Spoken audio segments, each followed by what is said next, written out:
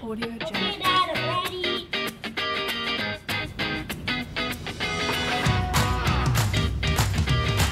Let's fix you up, kid.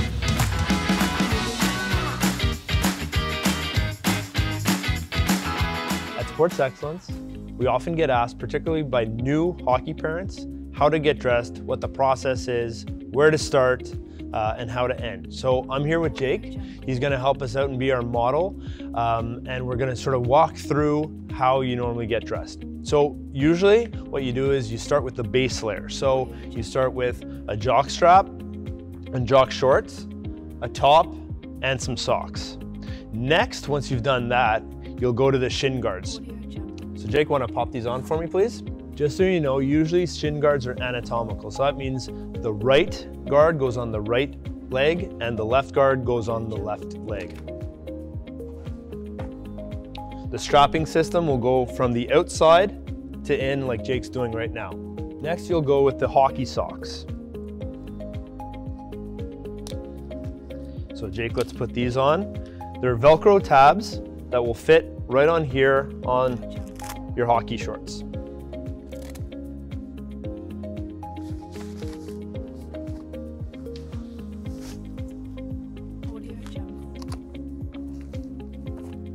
Perfect. Great.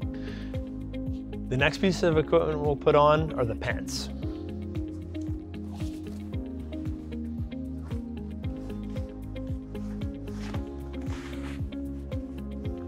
You want to make sure that the pants fit up nice and tight, going up to the rib cage, and then you cinch in the belt.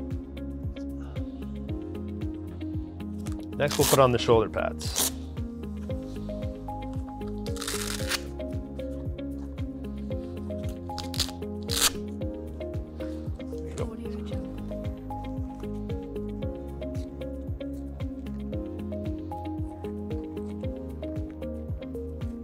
Then come the elbows. Do you want to do this one yourself? Good. Very good.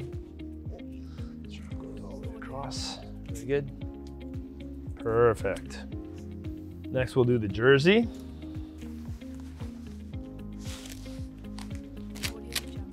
Put on the helmet.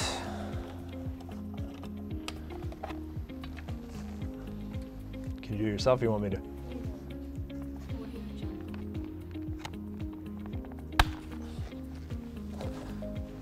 And your gloves, and away you go.